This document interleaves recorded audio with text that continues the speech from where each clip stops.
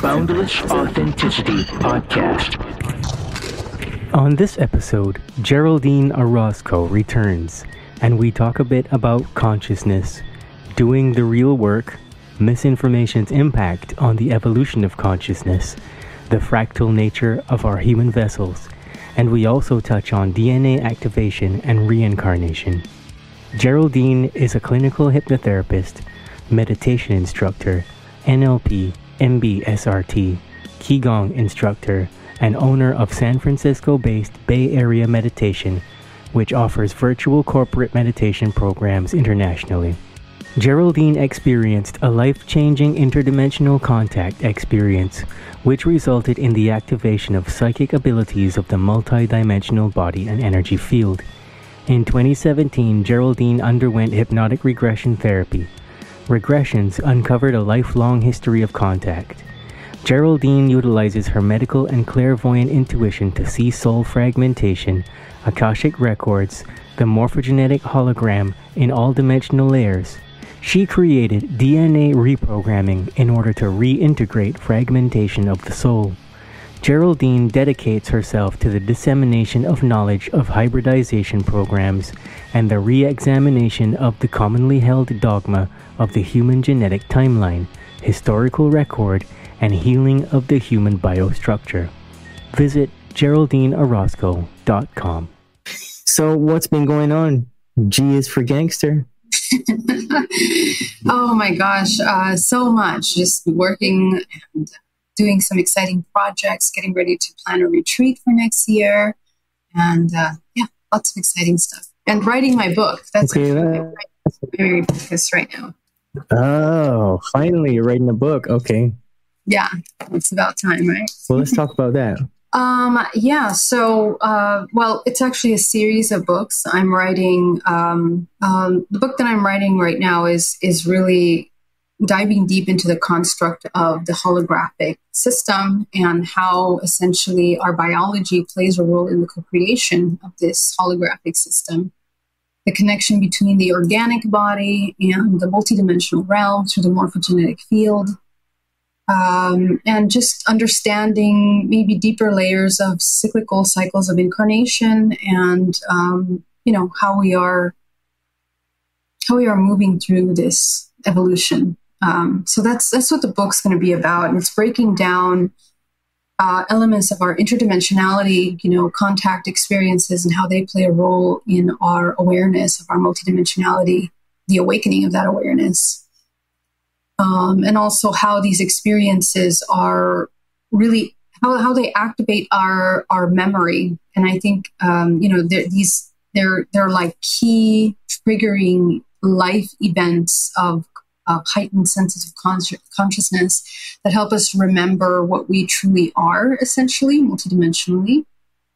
Um, and yeah, and and and then the second book is going to be breaking down the mechanics of the alchemy of that, which is essentially, you know, how does the human navigate this realm now that we understand the contra- construct? Um, how does the human integrate deeply these concepts into the embodiment um, and how we play them out? So um, it's really going into a bit of like the somatic, psychological, and biological elements of being a human, a spiritual human, this this this multidimensional human. Um, yeah, and then the third book is really about healing. It's self healing, understanding deep techniques of self healing, how the body heals and regenerates itself from the many levels. Um, yeah, so it's it's a lot of work uh, organizing these topics and and um, you know making sure that it has kind of an over an overview of you know the concepts that are trying to be expressed. And yeah it's really exciting. So um, hopefully finishing those by the end of this year i'm hoping. Thinking to myself that um, there's a bunch of different questions i want to ask you but first i wanted to say that it sounds like what you're writing about is exactly what needs to be given to the world at this time because I see there's so much stuff online and I don't even really pay that much attention to it. But it seems like every time I sign on to Instagram, there's just a bunch of garbage. There's a bunch of misleading information on there that is taking people further away from what would be their purpose. You know, like there's people like us that want to get helpful stuff out there. And then there's people out there who are following some kind of a narrative. And it's just like a little bit of the truth, but mostly false stuff. It seems to appeal to a particular demographic of person that just wants to get manifest some more money or something and, you know, live the rock star lifestyle or something, some kind of a fictional reality. It, it's a, a matrix trap is really what it is. And, Yeah. um, yeah, so I'm glad that you know you're out there getting ready to drop these bombs on people, these truth bombs. Thank you. I certainly hope so. Um, yeah, I think it's really important. I think that my my purpose is to simplify complex concepts, and of course, it's coming through the filter that I bring them through. Um, but I, I think that that you know every little layer of information from people that are deeply connected to themselves, you know, we're able to channel just a little puzzle piece of this collective truth, really. And I think it's you know it's up to the human to discern that information. And I, I'm really huge on the implementation of of actual practices and concepts. Um, I don't just like to philosophize about them. I want to know how to actually embody them and anchor them into this planet. So that's kind of by kind of uh, consider myself kind of experimenting in my own life. You know, how do we how do we do that? How do we learn to do that? And how do we get results? Um, so yeah, I, I think I think the books are are meant to invite people to implement them in very profound ways into their life and to see, uh, you know, how their life can change. I think the best way to to learn is to experiment, to experience truly in the body these concepts. Uh, yeah, I'm happy to hear you say that because I always say that application comes before wisdom, and um, Exactly. there's a lot of people that want to do nothing but be on a high vibration, and they yeah, and they don't. I don't think they understand that once you commit to raising your consciousness to the highest that you can possibly get it before you die, um, it's a lifelong thing. It never ends, and there's more and more and more layers to it as you go along. And uh, quite frankly, it can be exhausting sometimes because it's just never-ending work that you don't necessarily want to do. I mean, sometimes you see stuff and you're like, "Wow, I've really got to take a look at myself now and find a way to integrate this or discard it altogether." I don't really want to do that. Yeah. So yeah, It's true. I It's think true. that's It what we need a lot more of. It. That, that's just my Yeah. personal opinion. No, I, I completely agree. I mean, I think it takes a lot of courage to do this work because we literally have to continuously move us, move ourselves out of any comfort zones that we might be nestling in. You know, concepts, uh, comfort of thought, comfort of beliefs, comfort, comfort of uh, lifestyles, identities. We we we tend to attach, um, want to attach so deeply to identities and parts and ideas and concepts and that's death. That's like that's like a, that's the the road to death is is is the way I put it. Um, essentially, we are such expansive. We are infinite potential embodied in this physical body. So there is no limit really to the potential that we have as humans, and everything around us is continuously telling us that we are limited, that we are needing to be small, needing to contract ourselves, needing to put ourselves into a box or compartmentalize parts of our humanity. When in reality, um, it's about the expansiveness into those spaces that allows us to experience oneness and align with the true uh, cycles of nature in which we find truth. You know, so only when the human goes outside and continues to push themselves outside of these comforts can they um, actually tap into these universal truths and really come into creation, which is what we're designed to do to be pure creators. Hmm Yeah, and you know what I talk about already. It's sensitive topics for a lot of people. I I say don't watch the TV, don't listen to so much mainstream music and stuff. At least not the more popular stuff because of like. Um, uh, well, you actually sent me the Instagram post. It was over a year ago with, with Kanye telling you about what the low frequencies in the sub bass in the music, what it does to your energy centers and stuff like that. And I was like, "Go, Geraldine." but uh, you know, that, that's you know, that's what's going on. It's to to kind of like slow you down, slow your rate of vibration down. And I know there's a lot of people that get upset with me when I say that because they think that it has to be so simplistic that if they feel free in their body and they're dancing to it, that that's a positive thing. And I say yes, but also no, because everything is dualistic in that way.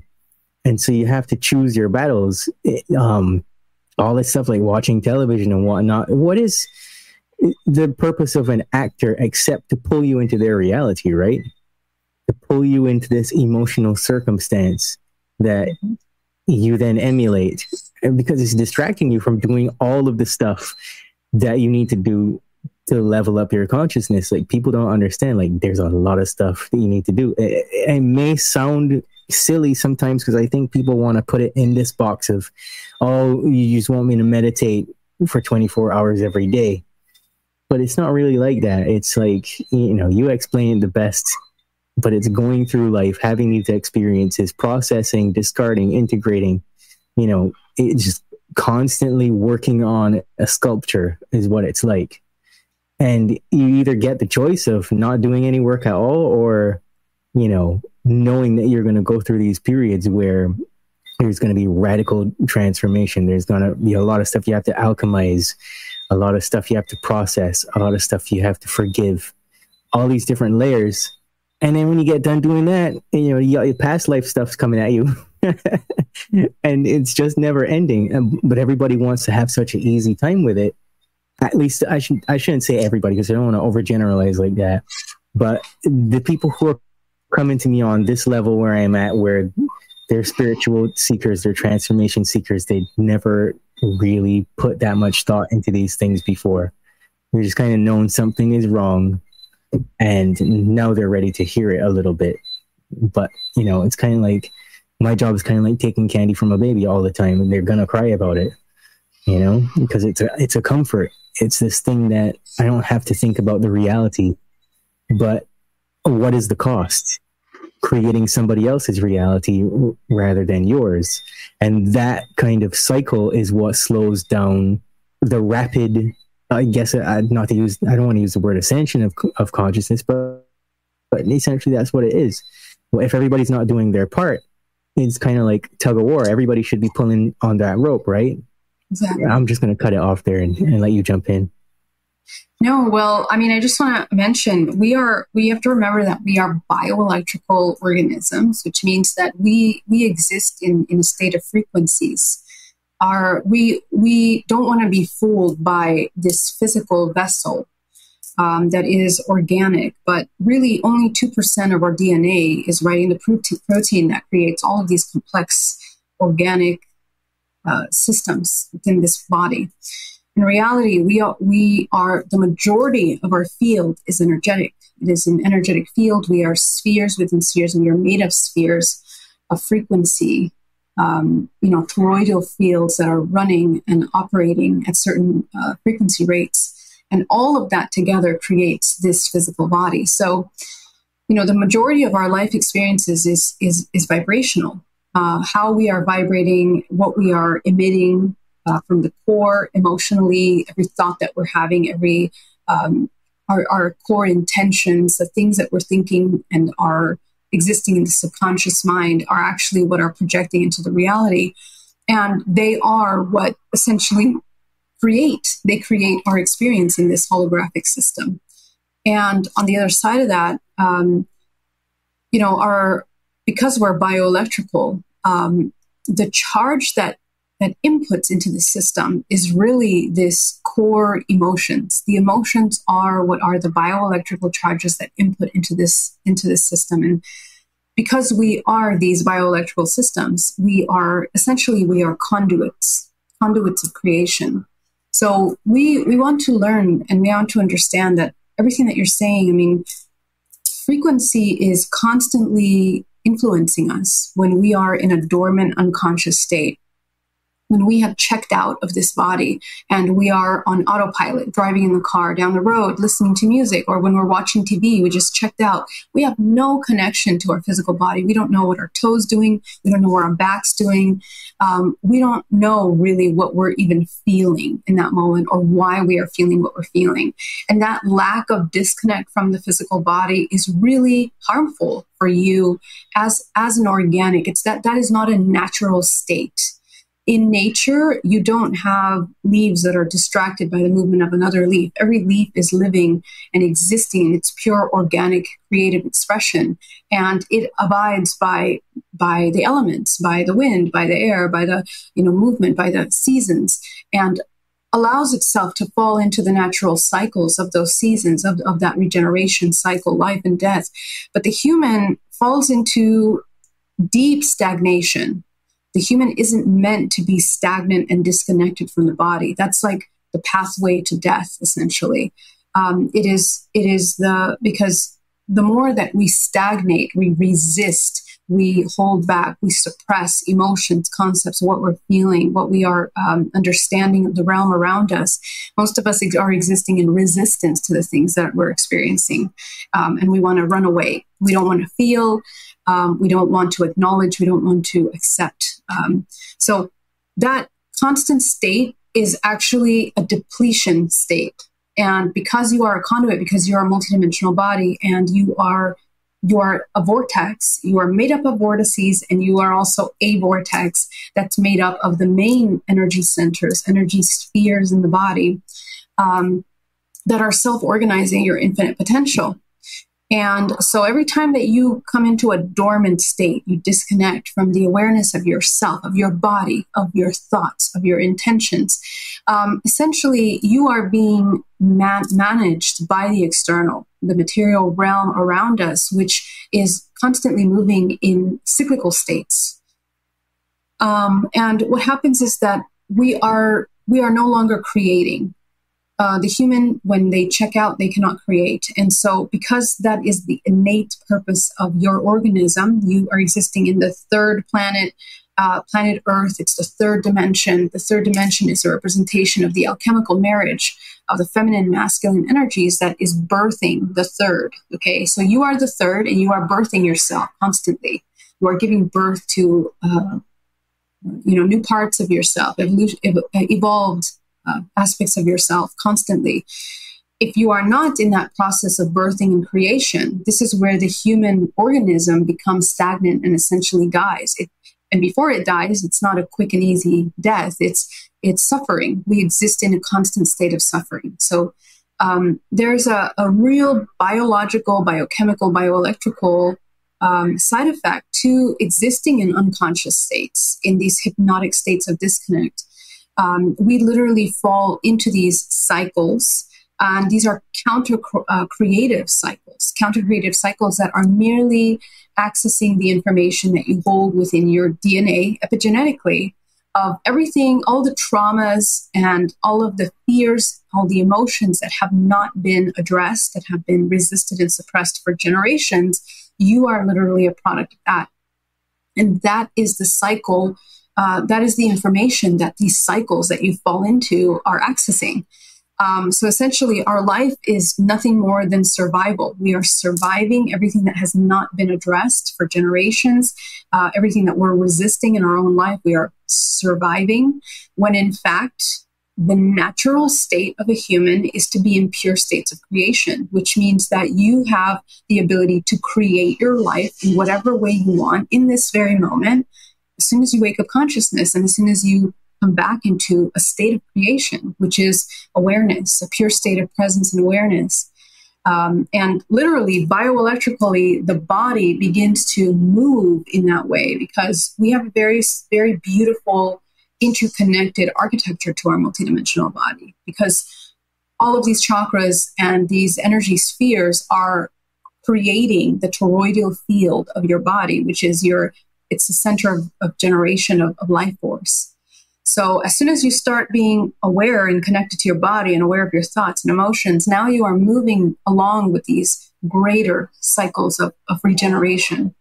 And you have access to truth and you have access to your memory. This is the activation of your DNA, essentially. In, in these, we, we call it uh, activation of DNA, but really what's happening is that you are reintegrating yourself you're coming into the wholeness of yourself.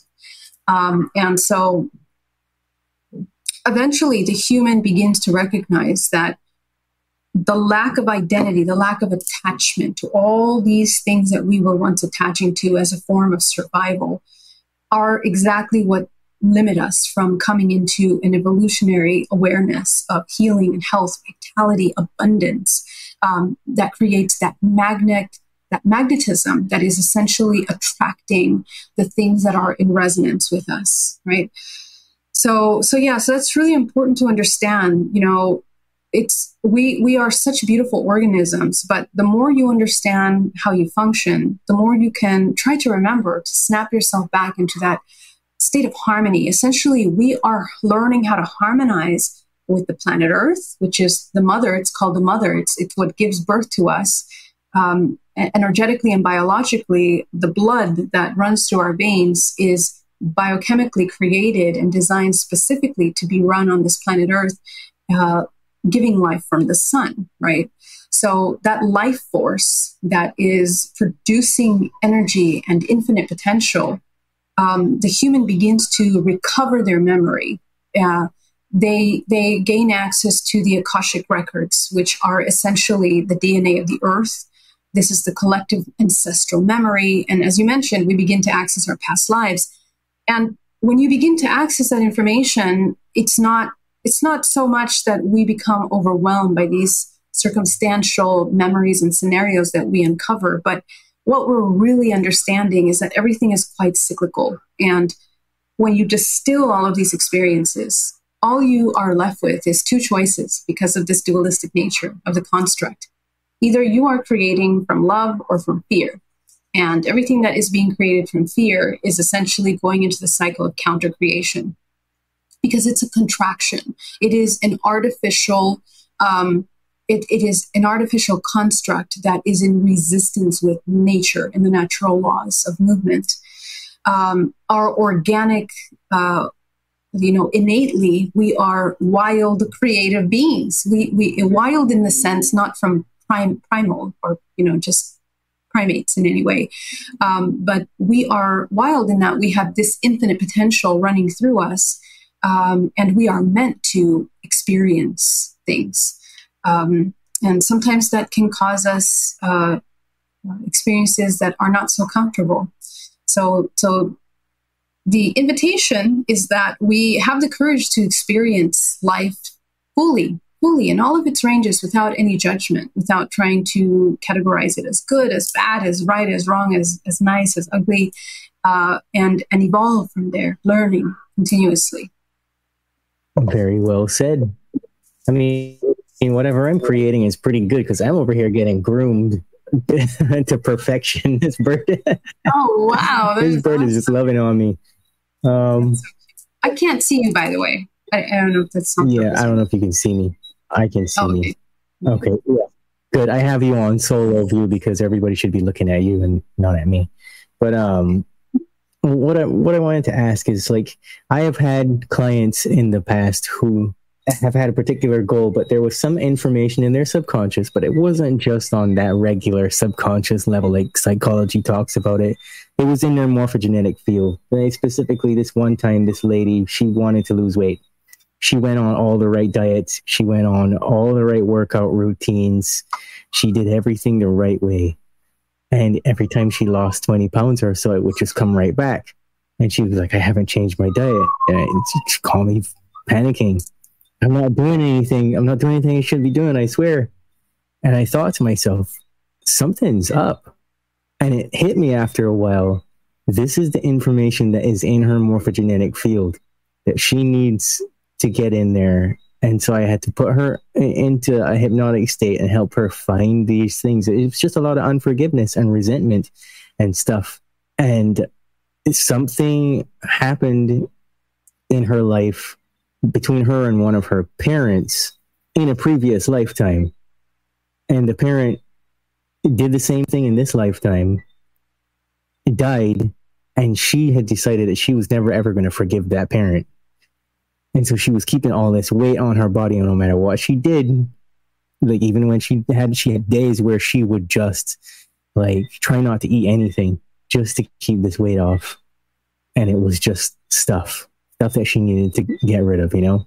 And so I don't think that um I don't think that there's a lot of people who understand that things can be at that level yet. I mean, if we if we get our way, the majority of people will come to know this information soon, sooner rather than later.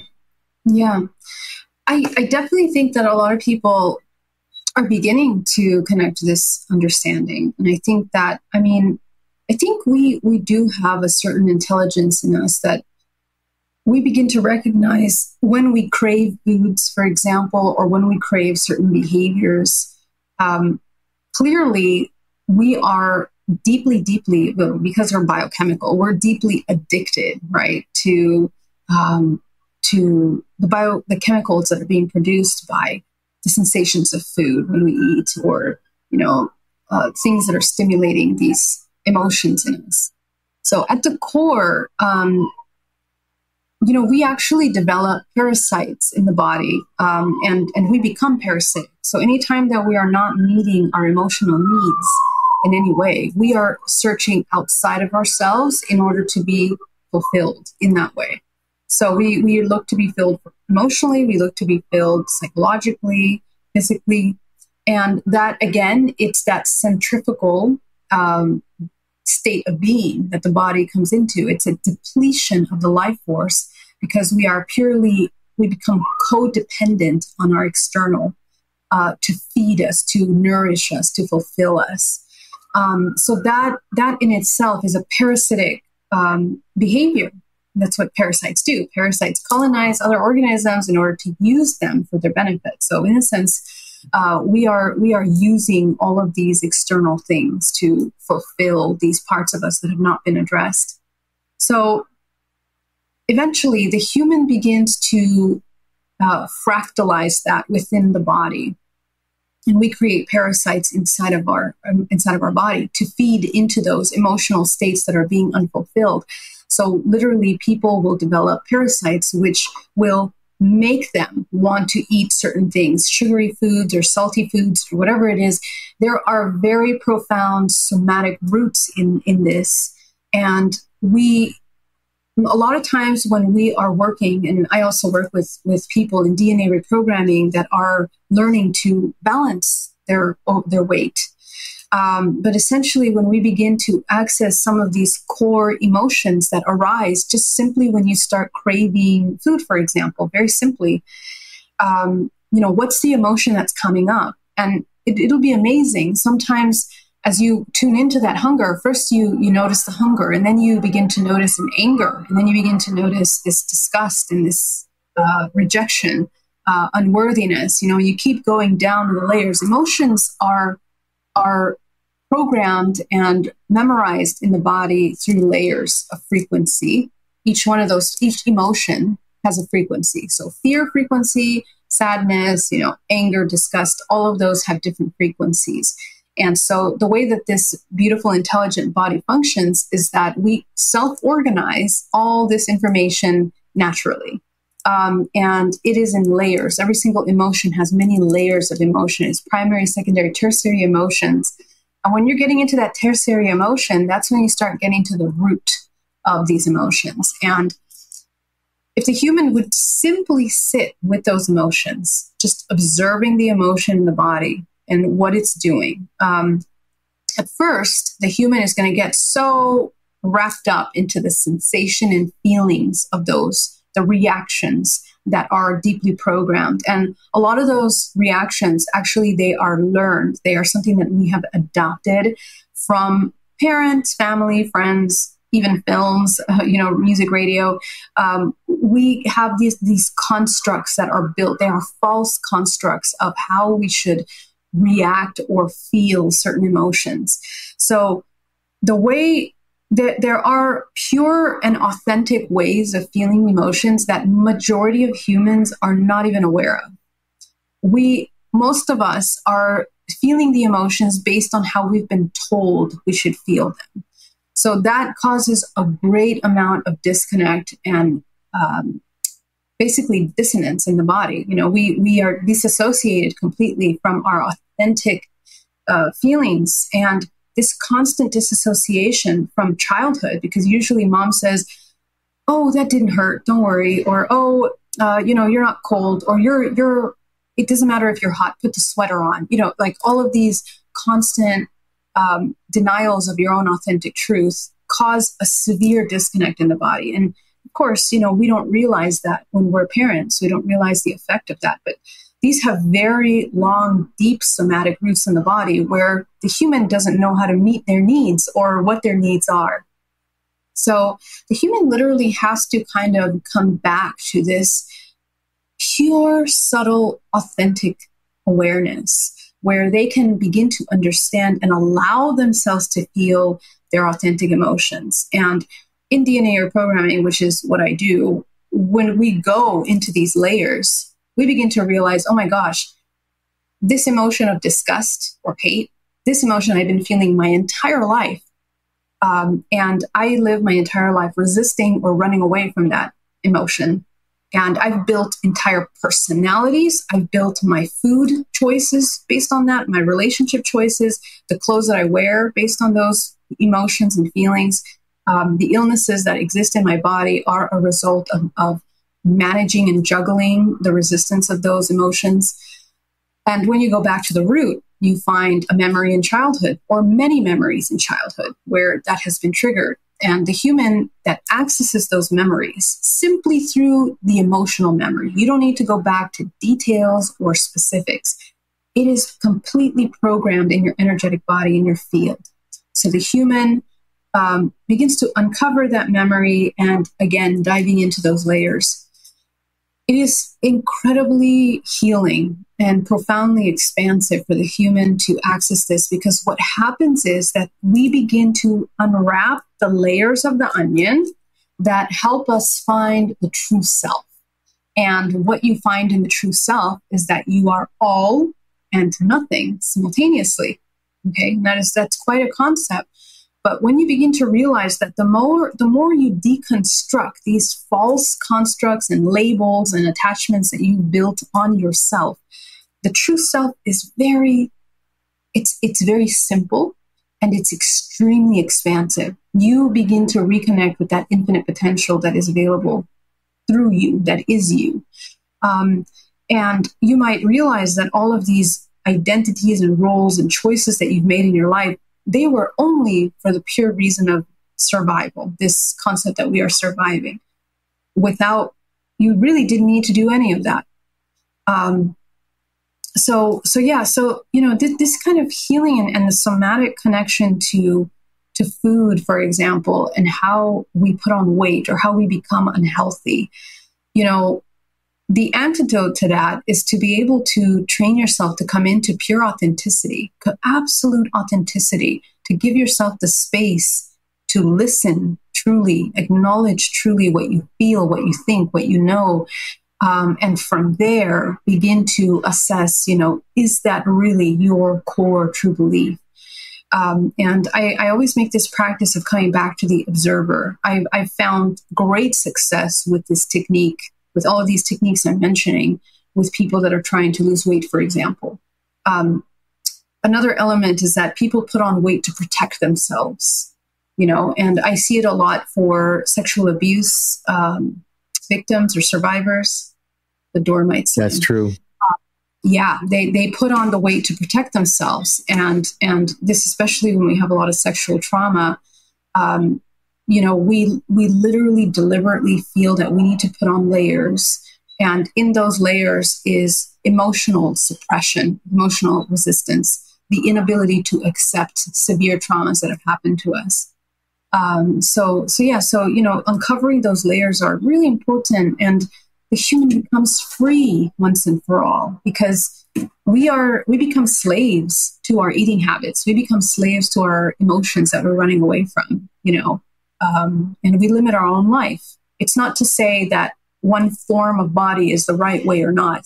Um, that's not what we're talking about here. We're talking about emotional health and pure authenticity. Like whatever it is that you're doing, are you existing in your pure, you know, integrated self? That's the priority. Yeah, it's true. I mean, this is heavy knowledge, really heavy knowledge, but it's not a heavier load to carry than just the simple amount of trauma based mind control that everybody is subjected to. all at any given time throughout their development uh, on this planet. It, it seems as though the overlords have kind of really figured out how to set the system up in a way, which would, I guess the system we would call it the matrix, set it up in a way that there's nothing but that you're bombarded with it constantly. And a question that I would ask you is for the beginner who wants to become the observer, how do you detach from that wanting to participate in the bad news, the trauma, the things that are going wrong in the world? Yeah, I think I think the the to distill it to the answer is learn to trust yourself um, because I think a lot of the why we look outside of ourselves at the news or at the information which you know we're in the information age we're now in the artificial intelligence age where not only are we getting information but we're getting all kinds of false made up information. It's really interesting and it's shocking me more and more um, you know how much how much fake content there, t- content there is out there. You can't even tell what is real anymore what is reality. And that's it's a very interesting time that we as humans are coming into right now. And it's going to require an intense amount of, of discernment. Um, so in order to discern and navigate what is the truth what is what is something you know we need to come back to the self um, and to um, to cultivate trust with ourselves because um, the reason why we look outside is because we are existing in a survival state and we want to we want to assure ourselves we want to give ourselves a false sense of security that we're safe a false sense of security that we can control uh, you know things that are happening in and outside of us. But that control is an illusion we cannot control anything that exists outside. Even if you get all the information in the world, you still will not be able to control um, what happens because the nature of this construct is infinite potential, infinite experiences, uh, infinite potential to experience. And the dependency on these external forms of information are essentially pulling you away from your creativity, which is are you creating your reality?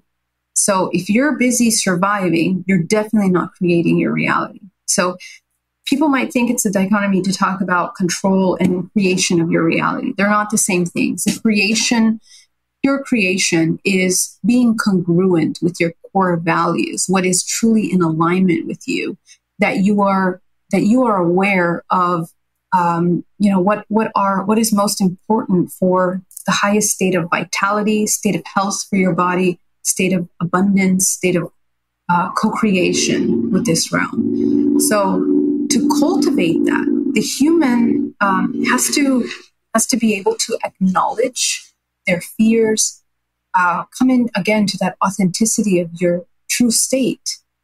If you are running away from any part of you into looking at the news or trying to be in a state of survival, you are not going to know what you need to survive. You're not going to really know what this organism needs in a moment of, of true um, difficulty. You're going to be very disconnected. Um, and that that's the key. Actually, for the human to really be safe, if you want to be safe, you have to be really connected to yourself and you have to have a cultivated intuition, which is completely severed when you connect to an external source of information. When you connect to your internal intuition, you begin to access the Akashic record, which is the DNA of the earth, which is an infinite source of information beyond time and space. And you know, this is this is something that I'm not just talking concept. This is something that you know I cultivate and I experience in my life. That when I connect to my higher self and when I connect to my higher wisdom, um, this is where I begin to access truth. And you have access to all the truth that ever existed and ever was. Uh, in 2017, when you know when I had um, hypnotherapy and I began to go deep into the, the layers of, of my subconscious mind, I opened this this up, and I literally knew everything in that moment, and progressively, everything that ever was and, and ever was was coming to this to this earth and so I got there by deprogramming completely everything that I thought I knew. And And to come into that state, this is where you come into resonance to these uh, this library of information, and that's really when you begin to understand what is what is really going on in the world. And the news becomes uh, a theater. You you begin to look at the news as a theater, as a manipulation of your emotions, manipulations of your your lack of the ignorance, really, of how you function as an emotional organism. Um, yeah. I would sit here and I would just applaud you. I'd clap for hours everything you just said because it's it's stuff that I think I, I harp on a lot, but it just can't be said enough. It just cannot be stressed enough because it really can be that simple. Once you understand it, there, there's no way you can not understand again. Yeah. You can you can't go back to sleep after you figure it out. It's just impossible. Um, and sometimes I think me and my partner we we say to each other, you know, us, you ever wish you could just go back and not know any of this? and uh, she's she's like, yeah, all the time, because it would be so easy to just chill out and drink a milkshake and watch a movie and you know, worry about what the weather is going to be like tomorrow and stuff like that. But once you really get going, you don't have time to worry about stuff like that. You're constantly uh, just in this really good feeling of of knowing that you have this huge responsibility to yourself. It's not even to the rest of the world. it's uh, as soon as you start changing yourself, everything else is going to seem to be making small shifts but until then, you stay in this hopeless, helpless state of being. Yeah. Also, and, um, um, I don't know. I wish I, I wish I knew. Yeah, go for it. No, I'm so sorry. I uh, there's a little bit of a time lag. Please continue. Yeah, there is that time lag for sure. I keep trying to pause a little bit, um, but it's not doing any good for me. Um, you know, I'm saying I wish I knew four sentences, just a short paragraph that I could put on just like a business card and give to everybody that I saw that would get them to understand how easy it is once you get in the flow of doing this work on yourself. That it's nothing to worry about. It's really just about non-resistance and acceptance. You just you just do it. There's nothing that you need to fear at all. Yeah. That's right. Or maybe um, that was it. Maybe that was what I should put on the business card. yeah, that, that, that is, it is that simple. And also, you know, I, I've totally played with the concept of like, what if I were to go back to this, you know, state of, of as they say, ignorance is bliss, right? But I can tell you as as a social experiment that I have done on myself that anytime that I have fallen asleep, what I've discovered back asleep um, you know what I've discovered? It's really interesting.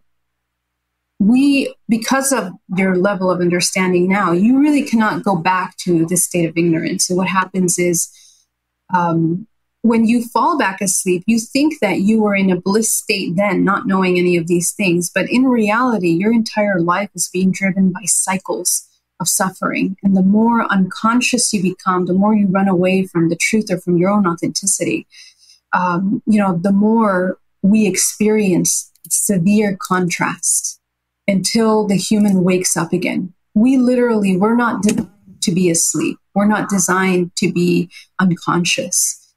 Uh, because every time that we become unconscious, we are going to fall into the law of accident. The law of accident wakes you up. It shakes you up out of your unconscious state through an accident, through a paper cut, through, you know, a death of someone um, that quickly wakes your your your vibrational state up uh, in order to ask you to elevate it once again to be in harmony with the collective because you know this universe everything is is is spiraling everything moves in this universe in form of a spiral and the way everything is naturally ascending to a higher octave um, every moment and the, the moment that the human falls asleep um, it starts to fall out of alignment with that natural cycle. And we come into counter creative cycles in which we fall into the laws of accidents. So you know, it's really, really interesting. But I think I think a lot of the reason why we want to go back to sleep is because we are used to um, the illusion of control. We are used to the idea that um, you know we have to become something or we have to sustain something. But to be to wake up is really to become nothing, to detach from these little small identities and labels that we post on ourselves. Um, and, and that's really hard for the ego. The ego always wants to have an identity. The ego always wants to have a definition. We always want to define things because that's our, our ignorant state of security. You know, that's how we can define and be safe in that, in that definition. Um, and it's also, it's also part of the, there's a certain laziness that the soul wants to experience that it wants to be comfortable in that definition. Once you reach the definition, you're good. You can just coast for a little bit. But that is not the innate nature of the human experience. The innate nature of the human experience is to be in constant flow, in constant ebb and flow, in constant giving, receiving, in constant, uh, you know, loss and gain, in constant death and life. And um, that we have to learn how to become comfortable with that discomfort. We have to be okay with constantly being moved through and experienced in that way. So it is the ultimate, I, I would say the human experience is the ultimate experience of detachment, letting go, and surrender. Okay. So I mentioned earlier that trusting the self is really the number one key the, to alchemize this codependent attachment to the external material realm. And essentially, we have to learn to trust ourselves in all potential experiences. And in order to do that, we have to elevate our perception of what we are away from the idea that we're finite material into an understanding that you are infinite energy, which is constantly moving, and that even if you experience a suffering or a death, that the way that this human body functions, you have the power with your mind to transcend suffering. You have the, the power to overcome pain. Um, you know, there are, you know, many examples of that around the world from, you know, the Buddhist monks walking over charcoal to fundamentalist Christians in the South drinking poison and actually surviving and, and overcoming the poison by connecting to, you know, Christ or, or God. The, we have in our bodies the ability to self heal ourselves, to regenerate, to overcome, to control this physical body, our body. And that is all. And that, that is everything, really. Um, because from there, you can control how you experience the external uh, influence. And the more we cultivate every moment this trust in little micro doses throughout your day, whether it's uh, cultivating things that are congruent with your authenticity, um, building uh, an understanding of things that make you feel good about yourself, proud about yourself, um, from your high ethics of harmony within yourself and others. This is this is the embodiment of self love, and this is why we talk about self love being the, the crux of of this ascension or, or aware awareness, enlightenment. How you how do you reach that bliss state um, is is these loving acts. Love is really a unifying force that is unifying yourself with yourself and then yourself with the whole. So I would say, you know, this this is a trust. Even in death, we trust ourselves. Um, and I think, as you know, many many ancient civilizations have been working um, on training ourselves in death, training ourselves in dream state. Because guess what? Not only are you ascending and doing this in the waking state, which is also a dream state, you're doing it in your dream time. And then you're doing it in death when you leave this physical body. You are, you are trusting this infinite essence that is navigating these many dimensions.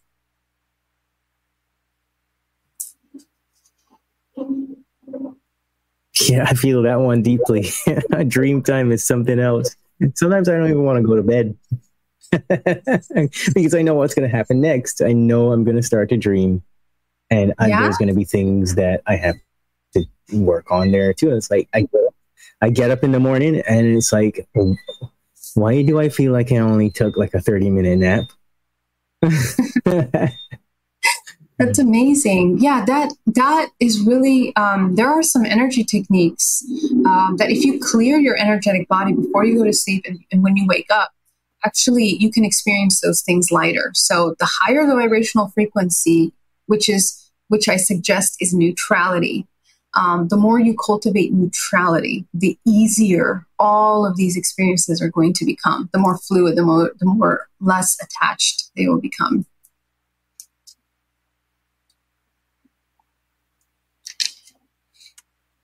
Yeah, that's. I don't know. Maybe some nights I do it, and other times I don't. Because sometimes I get up and I feel great. I feel perfect, and it was a wild dream. But there's other times where it's really. I guess it, those are the ones that are really the most emotional, though. There's a lot of times I think I see. Um, I think I see myself from other planes. I would say I see versions of myself doing other things. Sure. And it's like I'm forced to watch. And sometimes those ones are the most rough ones because I want to stop it, but I know that I can't. And, and I don't.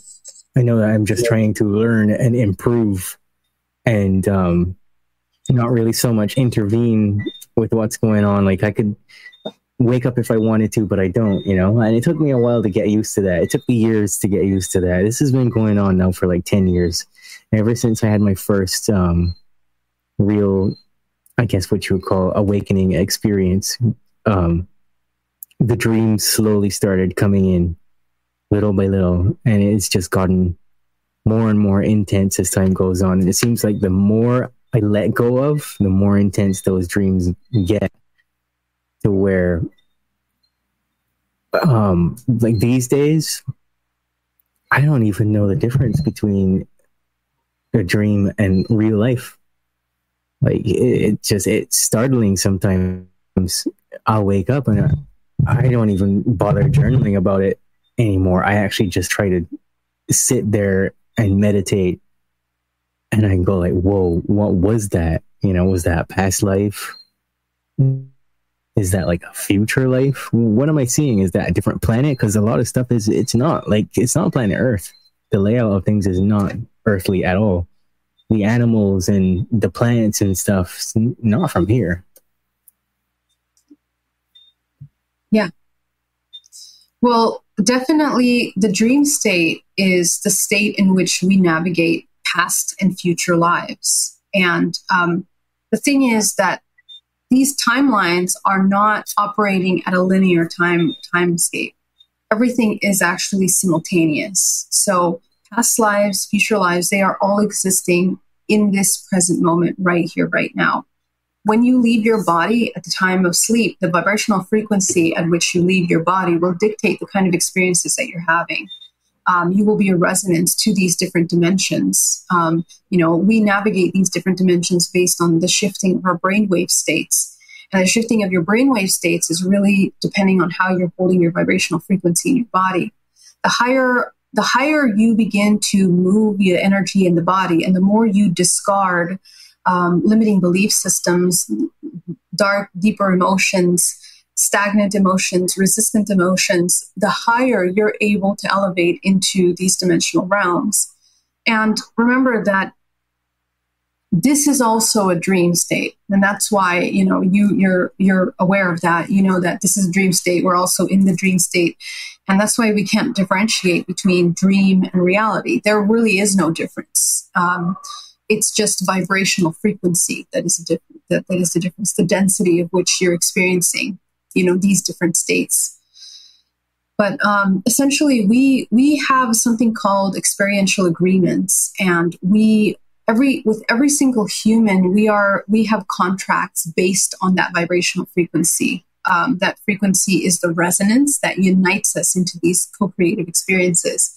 The same way that we do on earth like you and i uh, have a contract to do this show today um, on higher dimensions, um, we create contracts as well with other dimensions and other beings that are existing in these alternate simultaneous universes, all of which are, in a sense, a reflection of our resonance. So, actually, you can work in these dimensions as you do in the waking state, breaking or dissolving or alchemizing the agreement of vibrational frequency that you share with those people, places, and things. Um, and that is the work. That's the true work. The human that becomes aware of their resonance as they come into this experience is actually the one in charge, is the master of creation. Um, we are pure creators and we are the masters of our creation. And so we, and that's true in this physical dream, but it's also true in all the dimensions that we're experiencing. So what's really what's really interesting is that when the human begins to wake up consciousness and become lucid in that dream state, you can look at the contract that you have created with these beings or experiences and from there discern if you are in harmony with those experiences or not. And if you're not if you're no longer in harmony or you if you if you fully understand why you are there it's it's really not about whether you like what you're experiencing or not. It's whether you understand why you are there. What brought you to experience that experience that the alchemization of that core belief that made you in resonance with that is actually how you you change or shift out of those experiences how you wake up consciousness. And dreams are very powerful because you are activating dormant fractals of yourself because it's the dormant fractal of yourself that is bringing you into that dream in order to wake up another layer of your subconscious self so as you begin to dissolve this agreement, which is alchemizing, so let's say what brought you in resonance was self doubt, okay? And uh, in this dream, you are tested, you are in a war, you're tested in, in this dreamlike state. Um, so as you alchemize that, uh, what happens is that the construct changes. Um, and this is really, really powerful because what happens is that in the process of alchemizing that, you become one with the fractal that is experiencing this dream state. So I teach this a lot in my lucid dreaming classes. Essentially, dreams are another form of a high integration platform for ascension and for becoming lucid. Um, and it's it's very important what we do in dreams because the majority of our life, half of our life, is spent in dream state. Half of our life is spent in those agreements. And guess what? Everything that you are agreeing to or not agreeing to in these dream states is affecting your current life and it's also affecting your next life okay? Because the next the next the next time you become conscious the only reason why you are here in this planet earth and aware of this physical vessel is that you are aware of yourself as this fractal. If you um, you know it's, it's interesting. People that experience well we don't have time to go into that but people that experience like multiple personalities and um, have like what what we call as mental disorders usually they're oscillating between dimensions and they are stuck in that in that middle ground of in, interdimensionality. So they can't anchor into one aspect of themselves. They begin to pull from several at the same time. Um, and that that causes a lot of confusion in operating in this physical realm but they in reality, you know, that is a product of many generations of the denial of the present moment. When there are many generations of the denial of the present moment, the resistance of what is in this present moment, it manifests these kinds of conditions in the bloodline um, in order to anchor um, the awareness into the present moment fully, fully, fully, fully.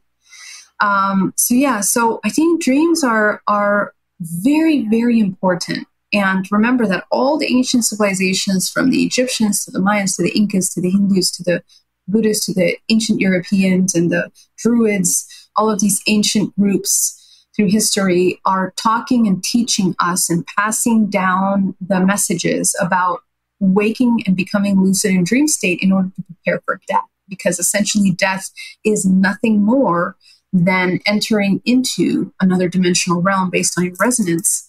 So to have an optimum death and a really great reference for who talks about the physics of that is Dan Winter, um, um, who talks about optimum death.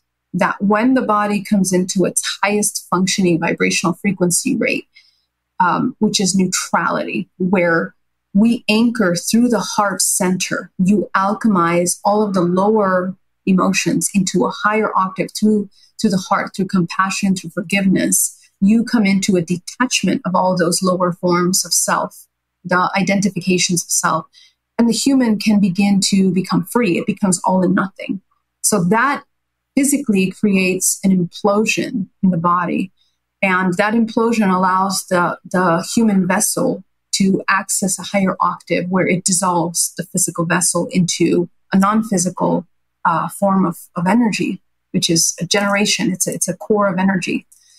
Um, so we continuously want to become this conduit of co-creation through the alchemization of the heart.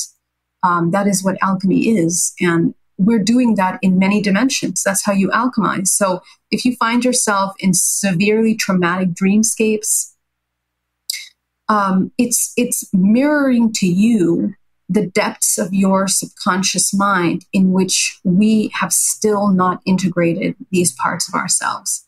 Um, and we need to alchemize them through looking at the contracts and coming into that implosive love state, the alchemization of that through compassion, through love. Um, and love emerges from neutrality, which means that you are not judging it as good and bad, right and wrong. You transcend that in order to see ultimate truth. You put yourself in the shoe of the aggressor, of you know the killer, um, and you begin to understand the human humanity as one. That that's essentially how you alchemize uh, some of these concepts. Um, the goal is unity consciousness, which is what we are designed to experience, and, and we are innately.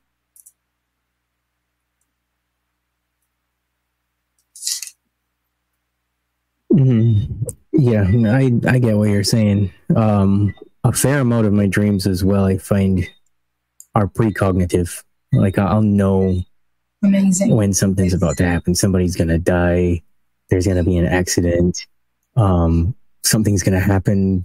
You hear about it in the news, some event, and um, you just gotta learn to deal with it, honestly, and not yeah. see it as an attack on you or like be like, "Oh, I'm I'm a psychic. I have this amazing gift." You just uh, don't put any labels or constraints or anything on it, and just see it as an experience. And maybe it'll show up in your reality in terms of this realm, or maybe it won't.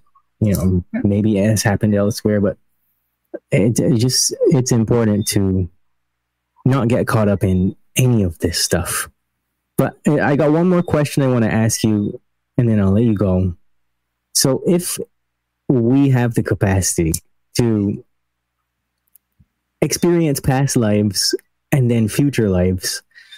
What exactly is the point of that versus reincarnating to experience certain things? Like, what, what do you think that's about? Um, yeah, so essentially, we we are a fractal of infinite, infinite potential that is simply experiencing. Um, and it really is that simple. And at least that's what I can claim to offer as an answer based on everything that I have observed, not as an ultimate truth, but as a potential suggestion that essentially um, we are here purely to experience. And there is the concept that the universe or the source is learning through us, but I think it's it's even more than that. I think that experience in itself is is is an aggregation of all the expansion of infinite potential. Um, and it's just a matter of all all things evolving naturally through that through those experiences.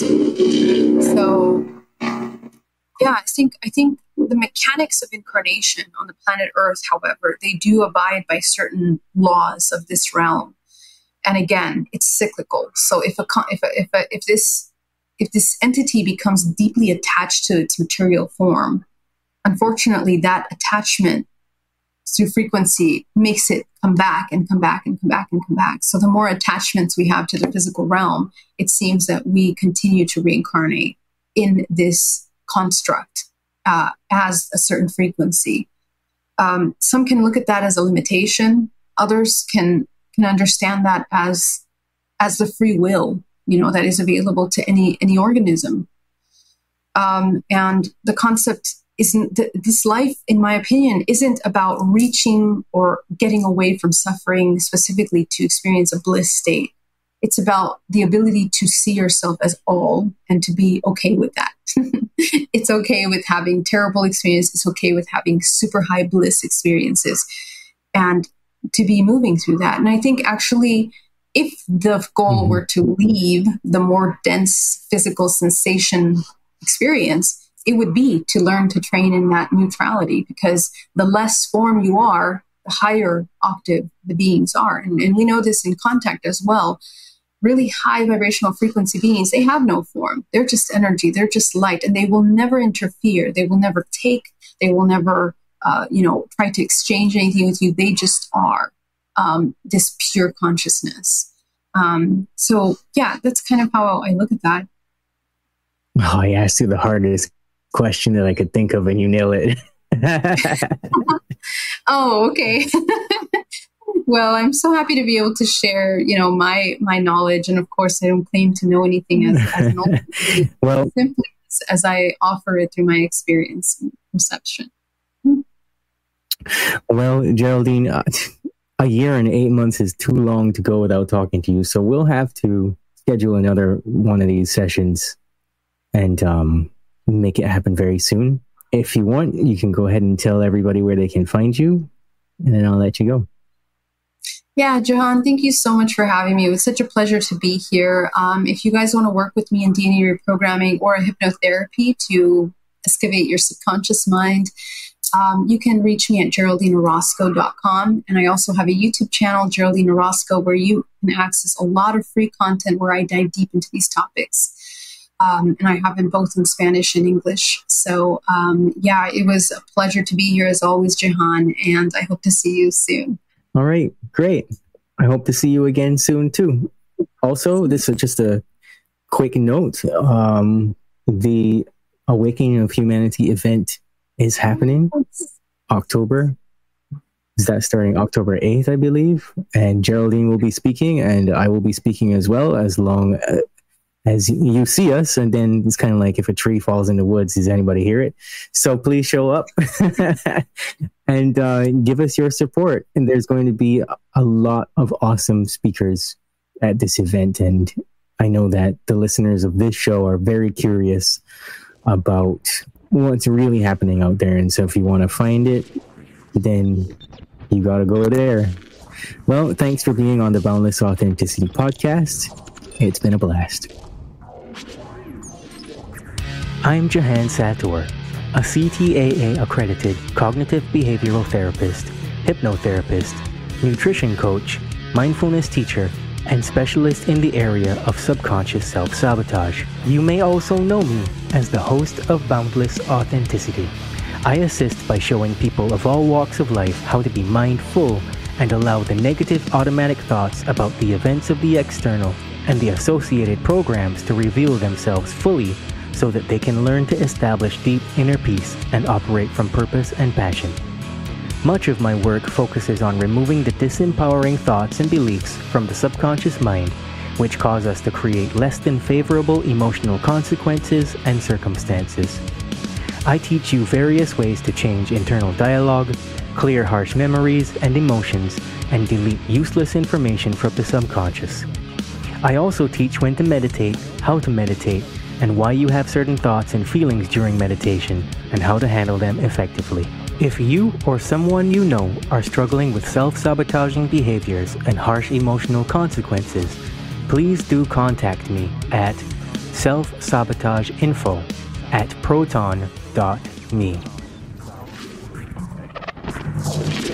You're listening to the Boundless Authenticity Podcast, where we discuss everything related to the evolution of human consciousness. At the very least, people need to understand that the United States builds bunkers, which are basically cities underground, every three months. Basically, when you dream, you tap into your subconscious. It is your nocturnal intuition, your creativity and imagination unchained from conscious reason, ego, and logic. That biologically alive soul. They have AI consciousness. They can alter your conscious and the brain to get the brain. We live in a multidimensional reality. Whether it comes through esoteric information in the spiritual realms or the UFO people, experiencers, or mainstream through quantum physics and through mainstream science now realizing that parallel dimensions probably exist. We're all spiritual beings. We're all having these human experiences. We've heard that phrase over and over and over. But what does that really mean? You know, all the big questions of life, we have these answers inside of our souls. We're ultimately studying the nature of what it is to be human, good and evil, our psychology, how we think, and our health. That's why I love Bruce Lee's great quote, all knowledge is ultimately self-knowledge. The Boundless Authenticity Podcast